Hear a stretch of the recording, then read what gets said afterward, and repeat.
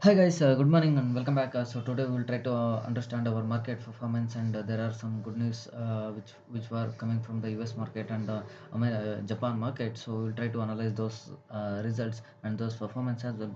Before going to that, let me give a disclaimer that the content we are discussing is only for educational purpose. It is not a buy or sell recommendation, guys. So let us jump into the market today. Yesterday, if you look at our Indian market, it has opened positive only, but at the end of the session, it has lost all the gains that it has made. But like you know, today, uh, if you look at the American market, it has closed. Dow Jones has closed 0.76 percent positive, and uh, if you look at the Nasdaq also, it has closed 1.03 percent uh, positive, guys. If you look at five days performance, uh, yesterday also it's it started seeing some sort of a recovery, but today also like you know it saw some kind of a recovery guys. So if you uh, look at the japanese market as of now it is trading 2.34 percent positive. It has uh, opened gap down so then it started going up going up guys. So there is some uh, if you look at the gift nifty also as of now it is uh, trading positive so which is indicating uh, the positive opening we can expect in our uh, market also as of now it is trading 0.78 percent positive. So we can expect our market also uh, a gap up or a positive opening today.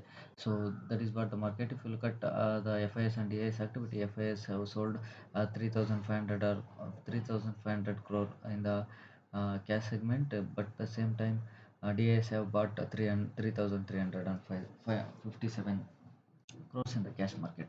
So let us quickly come back to the stock radar for today.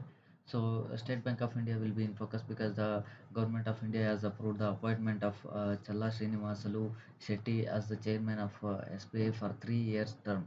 So, because of that, it will be in focus. Then comes uh, Suzlon Energy.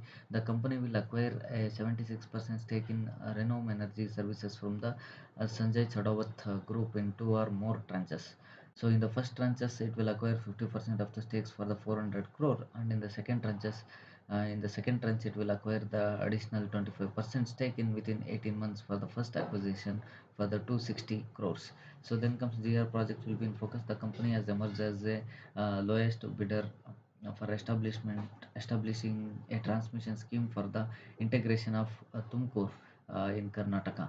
So let us quickly see the as it is a result season there are so many companies has announced its results so because of that those stocks will be also be in focus Lupin will be in focus because profit surges 77% and revenue rises 16%. So then comes Bosch will be in focus because uh, profit grows 13% and revenue increases to 3.8%. PB Fintech profit starts at 60 crores and revenue surges to 52%. So then comes uh, Tata Power Company. The profit declines 0.2%, revenue increases 13.7%, guys.